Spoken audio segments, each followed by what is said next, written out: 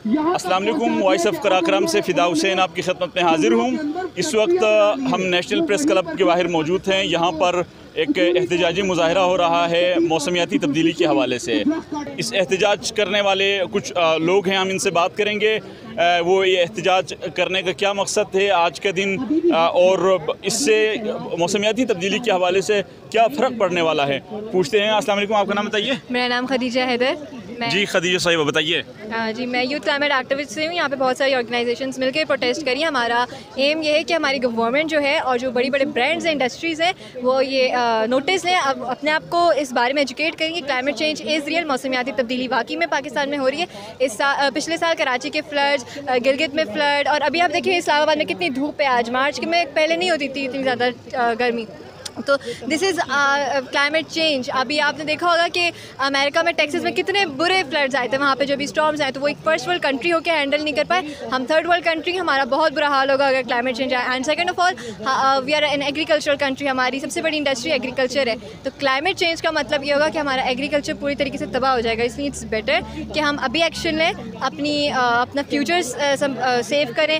अभी अपने आप हमारे पास टाइम है। यू एन यूनाइटेड नेशंस ने कहा है कि ट्वेंटी बीस साल तक हमारे पास टाइम है कि हम इसको चेंज कर सकते हैं। अदरवाइज़ ये बहुत बढ़ जाएगा क्लाइमेट चेंज दुनिया जहाँ में मसले आने शुरू होंगे सैलाब आएँगे ज़्यादा धूप हो जाएगी, कहीं बहुत ज़्यादा गर्मी हो जाएगी, बहुत एडवर्स इफेक्ट्स है क्लाइमेट चेंज के तो इट इज़ बेटर कि हम अभी से एक्शन लें इंडिविजुअल लेवल पर और गवर्नमेंट जो है वो हमारी इम्प्लीमेंट करे। थैंक यू तो ये बताइए कि गवर्नमेंट ने वैसे बिलियन ट्री सोनामी के का जो प्रोजेक्ट शुरू किया हुआ है तो आप नहीं समझती कि गवर्नमेंट ऑलरेडी एक्शन ले रही है? आपके प्रोटेस्ट करने का क्या मकसद है? नहीं देखिए जो ट्रीज़ है ना वो तो वेरी गुड एक स्टेप है कि ठीक है हमारी गवर्नमेंट दरख्त उगा रही है लेकिन दरख्त उगाने के अलावा जो प्लास्टिक की कंजप्शन होती है वेस्टेज होती है हमारी बड़ी बड़ी इंडस्ट्रीज़ प्लास्टिक दरियाओं में डाल देती है। और वो दरिया में डाल के जो है वहाँ पे समंदरों में जो समुद्री पौधे हैं समुद्री जानवर हैं सब जगह ख़राब हो रहे हैं। तो उस लिहाज से रोका जाए प्लास्टिक वेस्टेज समंदरों में ना जाए ये क्लाइमेट चेंज है। उसके अलावा जो हमारी बड़ी बड़ी कंपनीज़ पोल्यूशन कर रही है ना वो सस्टेनेबल मेथड्स अप्लाई करें। कि इतनी ज़्यादा फ़जाई आलूदगी नहीं हो? जैसे अब विंड पावर आ गई है विंड पावर एक सस्टेनेबल मेथड है सोलर पैनल सस्टेनेबल मेथड है। तो अडॉप्ट मोर सस्टेनेबल मेथड और इवन तो इट इज़ अगर ये कॉस्टली भी है तब भी आप अप्लाई करें क्योंकि it is not more costly than our life right हमारे फ्यूचर से ज़्यादा हमारी फ्यूचर जनरेशन से ज़्यादा कॉस्टली नहीं है ये। ये आप लोग की जनरेशन के बाद हम लोग की जनरेशन को सबसे ज़्यादा फेस करना पड़ेगा क्लाइमेट चेंज तो इट्स बेटर कि हम अभी से हाँ, मेरा नाम सुंबल है और मैं पाक मिशन सोसाइटी के साथ एज ए क्लाइमेट एक्टिविस्ट काम कर रही हूँ और इस क्लाइमेट स्ट्राइक में पार्टिसिपेट करने का भी यही ऑब्जेक्टिव है कि हम गवर्नमेंट को रियलाइज़ करा सकें कि क्लाइमेट चेंज एक ग्लोबल इशू है जो कि पाकिस्तान को भी इफ़ेक्ट कर रहा है। इसलिए हम क्लाइमेट जस्टिस चाहते हैं और आज स्ट्राइक का यही पर्पज़ है कि हम क्लाइमेट जस्टिस चाहते हैं। मेरा नाम हनिया इमरान है। आज हम लोग जमा हुए हुए हैं यूथ क्लाइमेट ग्रुप से पाकिस्तान के ऑर्गेनाइज़ किए सात शहरों में, इस्लामाबाद एक शहर है उसमें से।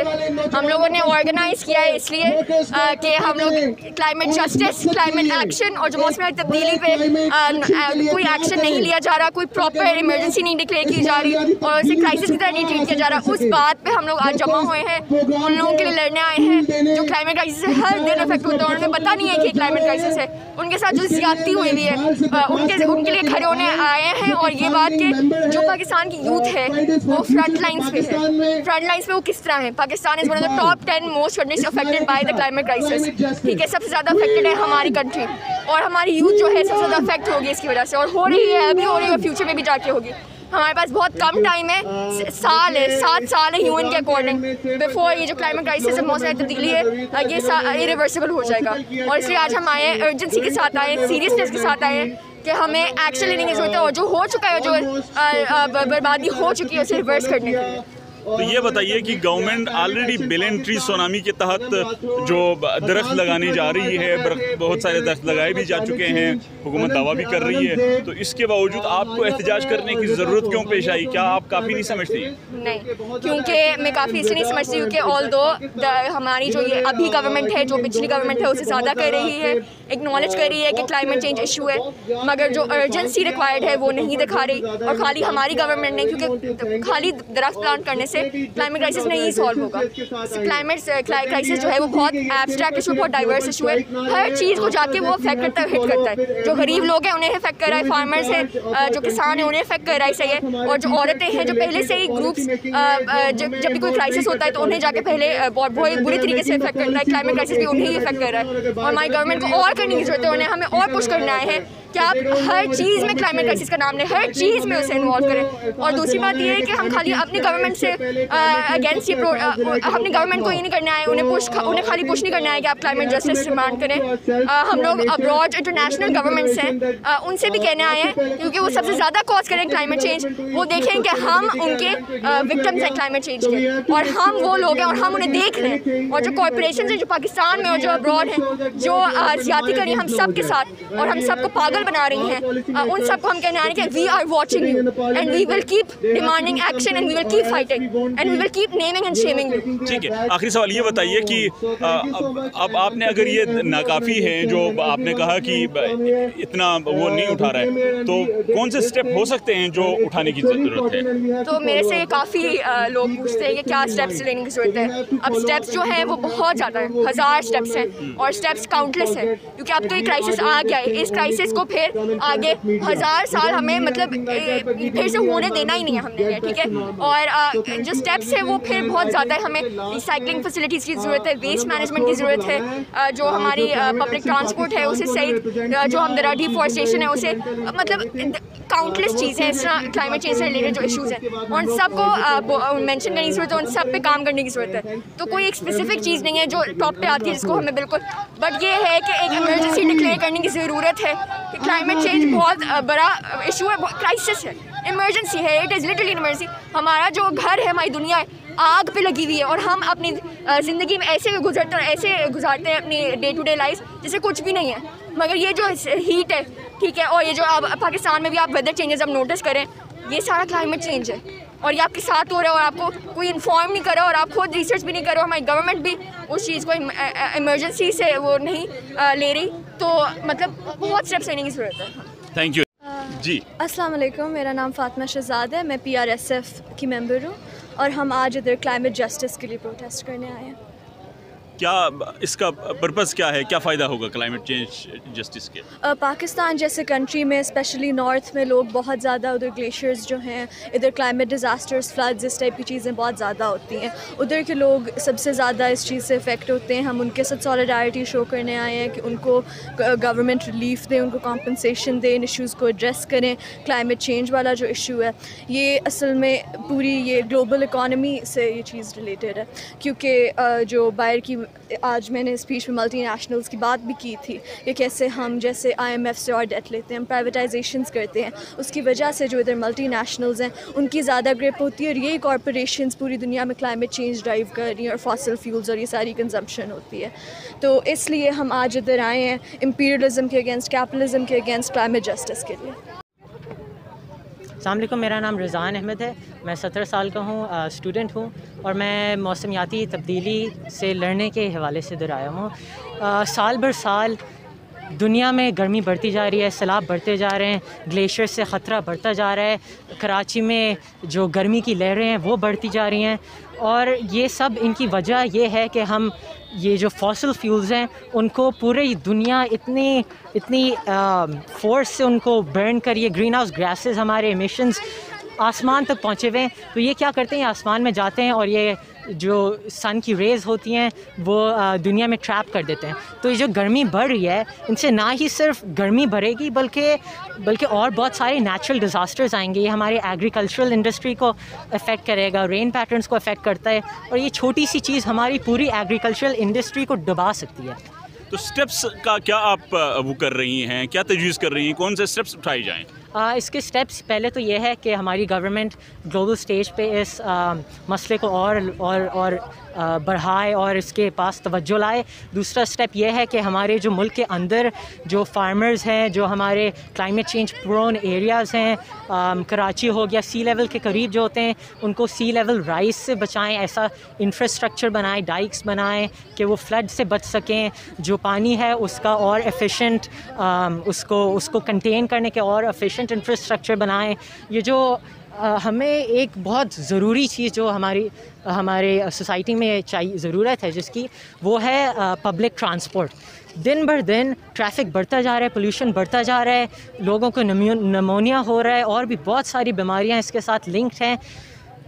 पब्लिक ट्रांसपोर्ट बहुत ज़रूरी है हमारे माशरे में। ये इस तरह की स्टेप्स हैं जो कि हुकूमत को लेने की ज़रूरत है। सिर्फ़ दरख्त लगाने से हमारी जान नहीं बच सकती। ये बहुत अहम मामला है।